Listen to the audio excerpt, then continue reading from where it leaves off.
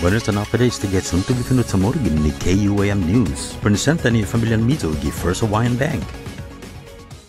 Ang Kongreso ng Amerika sa mga maproproposo na Libya, ginatisan presyong gasolina Delegado Michael San Nicolas sa anunsya na sumanog gi Fuminma at sa nabiyo ni mapananan Stop Gas Pricing Gouging Tax and Rebate Act. At sa nabiyo ni inintroduce ni Chairman ng House Transportation na Komitea, Peter DeFazio, sa nagwa sempre tax giganon siya ni kompanya Lania siya lumampos kantida esta. So mananalo dyan na sloppy tatigi itautaw gi rebate tax na manera. Ilinga si San Nicolas na ilingwahe ginabeo sa na siguro na i-rebate gas tax sa na saunay teritoryo siya. Jay autoridad tax gwihi siya na lugar sa siya o minaneha kung manalay. Ilinga na por manai consumer siya kada mes at bansa sa refundable na credit sa parang kwalifika sa pareho sa ni apas stimulus sigon ni American Rescue Plan.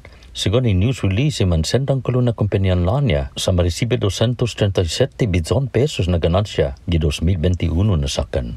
Mas guni magigis lata guahan managwaha public hearing gi Webes para di dos na bill ni introduce ni Speaker Teresa Lahi ni pro ni naaya dilanto sa ni na Libya para representi siya gi gas station. I Bill 260 sa proposo na ma-repeal di line na tisay liquid fuel tax rate no 4 centimos si galon i 2017 na sakan.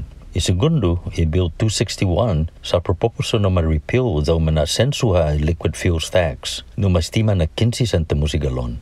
Ni speaker, i-residente siya no mas esperansa sa dog na inatisang gaston linala gunigi zagwahan sa politi siguro hafay na nanaw niya itano dan dispatcho rin ni Ruben ni ekonomiya.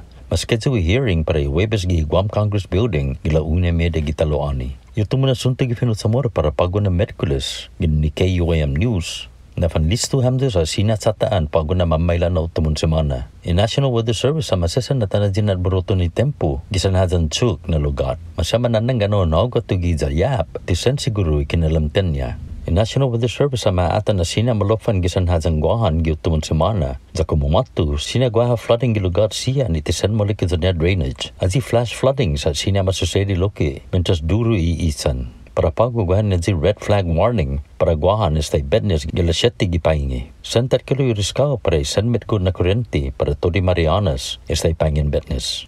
Para Guam News Network, Walsikin Conception. Yasuto ifinut sa moro sa presenta sa ninafato ni Familian Mizo gi First Hawaiian Bank. Say hello to the First Hawaiian Bank mobile app. Got a question about your finances? You've come to the right place.